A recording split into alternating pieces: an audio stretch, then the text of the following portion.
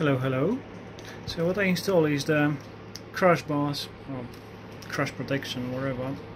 It's quite good, to be honest. Nice and solid. And also, like everybody does, you know, the protection for the radiator. Cooling. It's good to have it. I agree. Why gonna change still is probably um, those maybe for green ones which mark the match the um, the color from the whole bike. I find already one on uh, Amazon but is I have to figure out how you can install them. Usually they're coming with some kind of rubber and when you screw them they kind of the, the rubber expand. That one have um, um, it's like a 10 10 millimeter bolt inside there's no space for any rubber or any expansions stuff like this. Um, the lever is gonna go probably because I don't like them. I like short ones so we change this one as well. What else? Like I said I removed the passenger foot pegs um, that whole plastic thing the chain guard and the mud guard is gonna go.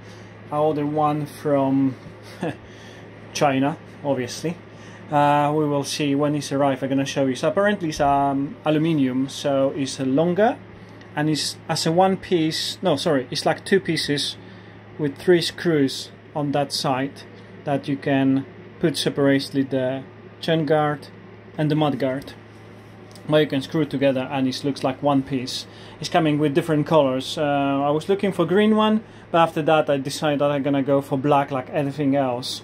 And um, let's see when he's arrive I'm gonna try to put on if it fits because he's saying he's um, dedicated to this model. So when arrive I will put it on and I show you guys how this is gonna look like. The tie uh, tail tidy is coming soon as well probably in two three weeks uh, because I want to keep this fender because I like it.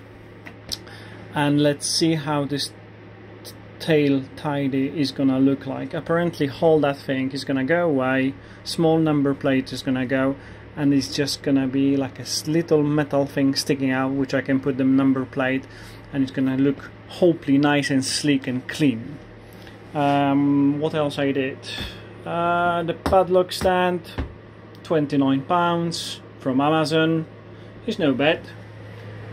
Company is called black whatever. So I put also that kind of which I think is more easy. And also it's like kind of like a protection if you let's say your bike gonna fall off. That whole thing to be honest with you I probably can sit on a bike.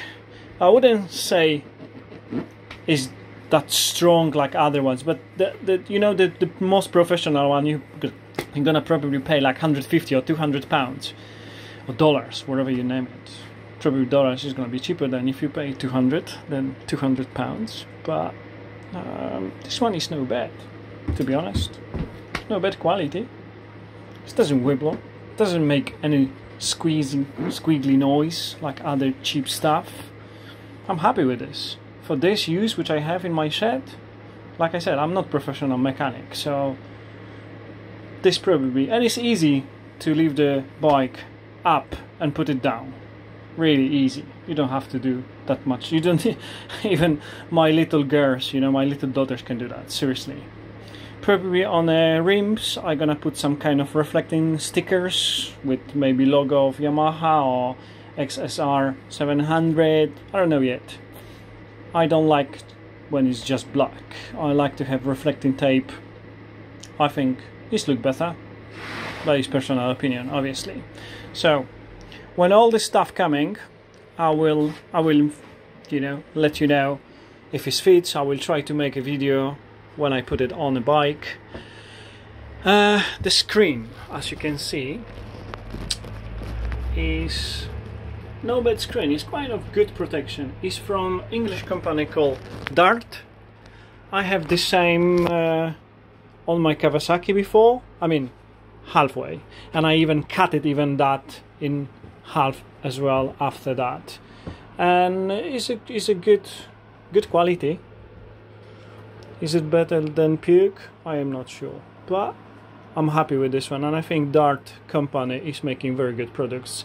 You can see them on a BMW R9T as well, very similar. I was looking as well for like aluminium one, looks like alum, brush aluminium, kind of small, you know, uh, windscreen over there, but I'm 6.2 or 6.1 actually, 185 centimeters high guy so I need little bit more wind protection. With the small ones, it's usually blowing straight on my face. With that, believe or not, when I'm sitting, it's just blowing above my helmet. So it's, it's good for me. I don't say it's the most pretty one or good looking, you know, windscreen, but do the job. So I'm not gonna change this right now. The mirrors, hmm, I'm not sure. Maybe I go for the hand mirror, uh, handbar mirrors to give a more clean look.